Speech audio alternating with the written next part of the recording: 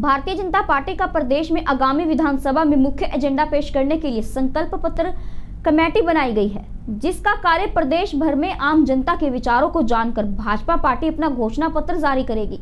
इस कड़ी में हिसार में पिछड़ा वर्ग कल्याण निगम हरियाणा सरकार के चेयरमैन रामचंद्र जांगड़ा और डॉक्यूमेंट्री विजन सब कमेटी के सदस्य रणबीर गंगवा की अध्यक्षता में मीटिंग का आयोजन किया गया, जिसमें प्रदेश के 12 जिलों के अलग अलग वर्ग के लोगों ने हिस्सा लिया तथा अपने अपने विचार रखे। इस दौरान पिछड़ा वर्ग कल्याण निगम सर, हरियाणा सरकार के चेयरमैन रामचंद्र जांगड़ा ने पत्रकार वार्ता के दौरान कहा कि प्रदेश की जनता की राय जानने के लिए 18 रथ तैयार किए गए हैं जो 90 विधानसभा में जाएँगे। प्रत्येक रथ पाँच विधानसभा में जाकर आम जन से संकल्प पत्र के रूप में सुझाव मांगेंगे। इसके बाद 2019 से 2024 तक मेरे सपनों का हरियाणा कैसा हो इस आधार पर बीजेपी पार्टी एक डॉक्यूमेंट्री तैयार करेगी जो 1 सितंबर को पूरे हरियाणा में प्रस्तावित की जाएगी। वहीं विधानसभा चुनाव में चुनाव प्रचार का काम करेगी, वहीं डॉक्यूमेंट्री विजन सब कमेटी के सदस्य। रणबीर गंगवा ने कहा कि मुख्यमंत्री मनोहर लाल के नेतृत्व में बीजेपी पार्टी ने हरियाणा का काफ़ी विकास हुआ है। पिछड़े वर्ग में आने वाली दिक्कतों को जल्दी सरकार के सामने रख, उन्हें दूर किया जाएगा। पूरे हरियाणा प्रदेश में 18 रथ चालू किए गए हैं। प्रत्येक रथ पाँच विधानसभाओं में जाएगा, नब्बे विधानसभाओं को कवर करेंगे।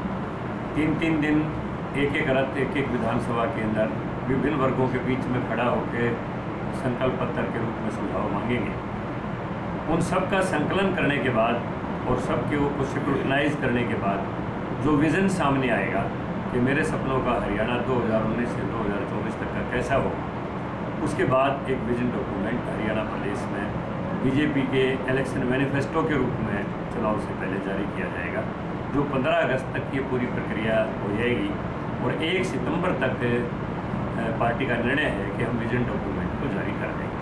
भारतीय जनता पार्टी ने जिस तरीके से पिछले पाँच सालों में आदरणीय मनोहर जी के नेतृत्व में काम किया है, आज लोगों का फिर मन बन गया है कि 2019 से 2024 फिर आदरणीय मनोहर लाल जी के नेतृत्व में भारतीय जनता पार्टी सरकार बनाने जा रही है। इसलिए लोगों के बीच में जाकर के लोगों के क्या व्यूज़ है वो लेने के लिए हम लोगों के बीच में अलग अलग कैटेगरी के लोगों के अंदर जा रहे हैं। जैसे अभी बताया चेयरमैन साहब ने कि आज बैकवर्ड क्लास के लोगों के बीच बैकवर्ड क्लास की क्या क्या दिखते हैं? चाहे वो बैकवर्ड निगम के अंदर बजट की बात हो, चाहे लोन्स की बात हो, और जो दिखते हैं, चाहे राजनीति में ज़्यादा से ज़्यादा भागीदारी की बात हो, इस टाइप की जो बातें निकल के आई है, वो सारी की सारी सरकार के सामने हम रखेंगे। ऐसे ही लेटेस्ट खबरें पाने के लिए सब्सक्राइब बटन पर क्लिक कर बेल आइकन को दबाएँ।